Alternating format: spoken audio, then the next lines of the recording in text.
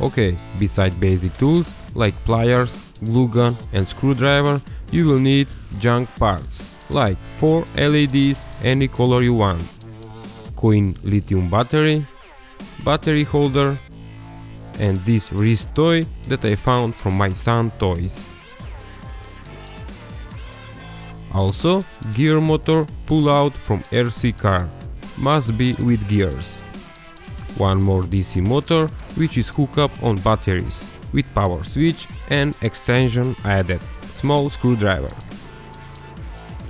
First we gonna build the LED star. You can solder or glue with tape the LEDs with the battery. Also I have add a switch. You should get something like this.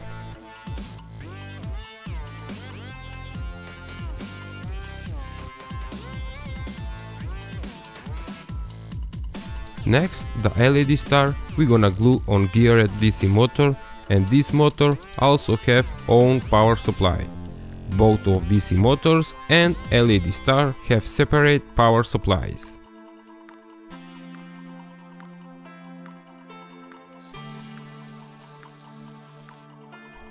Now we gonna connect the main DC motor with geared motor and you must find good balance spot because the Rasengan will rotate in two different centrifugal directions and if it's not balanced, your Rasengan will fly away on many pieces, which is dangerous. We are almost finished. With electrical tape and glue gun, I joined the wrist toy with the Rasengan mechanism. I put on my hand, turn on the LED star, power up the first motor for LEDs and power up the main motor. And here it is, awesome real Rasengan, just like on the cartoon. And when you watch in dark room, the light effect is super cool. 10,000 lumens homemade flashlight that can light up to 100 yards. Let's make it.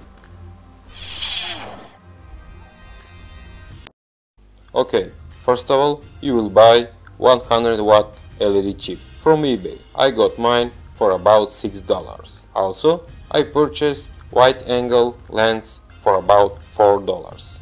The LED chip must be mounted on big aluminum heatsink. From this old flashlight, I'm gonna use the reflector with the face cap, lens and all the parts we gonna glue with strong two component glue.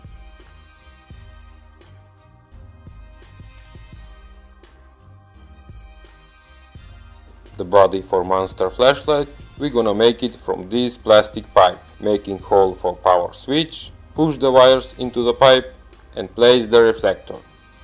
For power, we're gonna use 9 LiPo batteries that I salvage from old laptop battery or you can use two 18 volt drill batteries connected in series. The circuit is simple. The LED chip work on 36 volts, so 9 pieces of LiPo batteries are making 36 volts. From batteries, power is going to switch. From here goes to LED chip and for safety reasons I have added two power switches, one on the back and one on the front. Solder all the wires like on circuit that I show you and I will put link in description. Because the flashlight is so big, we're gonna glue two plastic handles one in front and one in back. Spray it with the black paint and add some stickers. And here it is, monster flashlight with 10,000 lumens that can light up to 100 yards.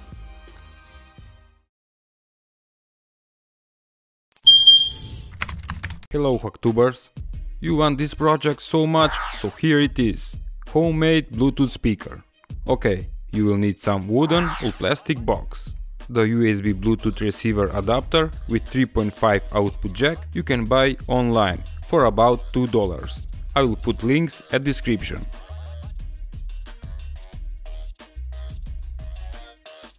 Next, you will need audio power amplifier. This small board can deliver 3 watts for each channel and cost $1. My mini speakers I'll pull out from old MP3 player, but you can buy from eBay or electronic shop for about $2. this female USB plug is pulled out from broken USB hub. You can use female USB cable if you want. Also, you will need male USB connector with cable and 3.5 stereo jack also with cable. For powering the Bluetooth speaker, you can use it the USB charging adapter for phones. Or in my case, I prefer power bank, so the Bluetooth speaker will be portable. All stuff together cost about 5 bucks. Now we gonna mark where we want to make holes for both speakers and with Dremel or whatever you got, cut the holes. Here they are, perfectly cutted circle holes and before glue them I will solder wires to both of speakers.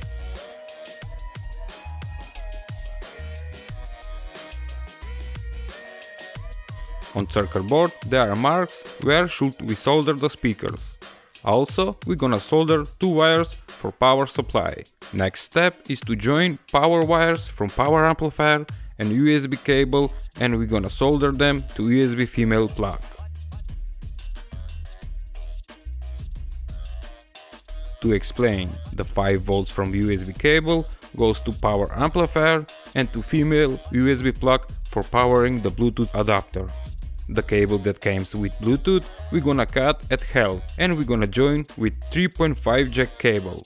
One will be for aux in and other will be for Bluetooth adapter.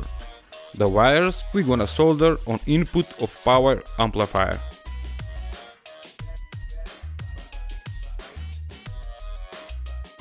Now plug the adapter to USB female connector and power up the speakers for the first time and it's working!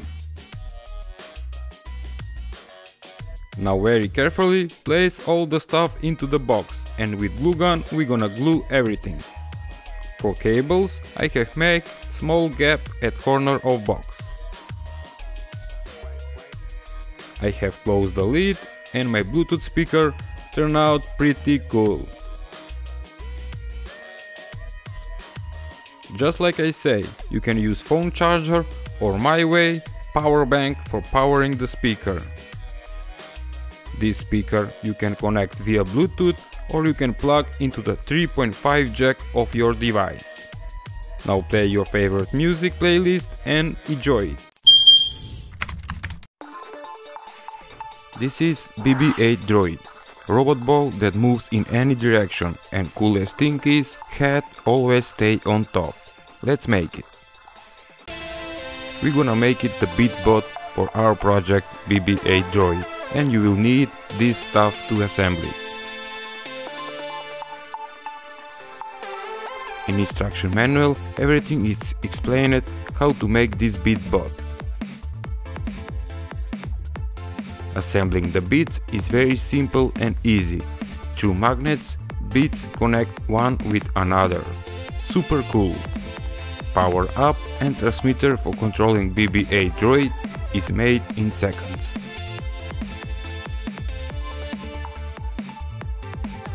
For making beatbot receiver you need this stuff.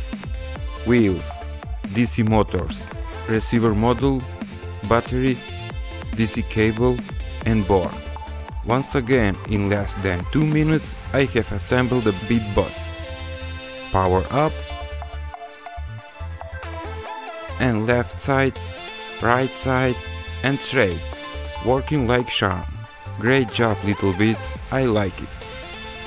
And now, before I proceed to next step, I enjoy little bit driving this bot. Also, as extra function, you can add LED bar graph to monitor how much power you give to the DC motor. Or you can add buzzer, fan speed controller or servo controller. Let's back on BB-8 project. Mine Beatbot I have assembled on smaller board and on bottom I have put the battery together with magnets so the Beatbot will be more stable with heavier bottom. I found this plastic white ball and cut it at half and inside we're gonna place it the Beatbot that we make before and this will be the mechanism for ball to spin in any direction. I print out 6 stickers on self-adhesive paper and attach on ball.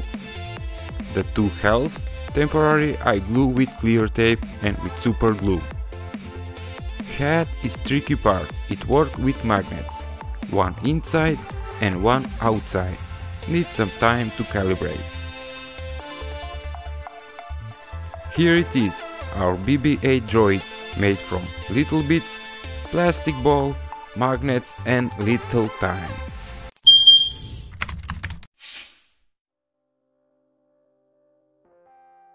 Making custom USB flash drive is so cool project, so I decided to make steampunk design. The flash drive we're gonna put inside copper pipe and we're gonna use copper wire for decoration. For tightening everything in place, I'm using two component glue for metal. From this DC voltage tester, we're gonna use the light bulb for getting retro look. The light bulb is soldered directly to positive and negative power supply of USB flash drive. On one of copper pipes I open a hole and on that hole we're gonna place transparent plastic piece that I cut from bottle.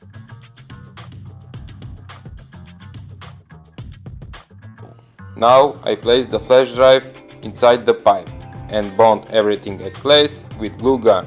On one side we're gonna put some two component glue and attach the end cap. Also we're gonna fill up the hole at front with two component glue. From other copper pipe I make cap for protecting the USB plug. The finished flash drive turned out very cool, especially with that old light bulb. Hit that like button, subscribe and visit my channel page. Thanks for watching.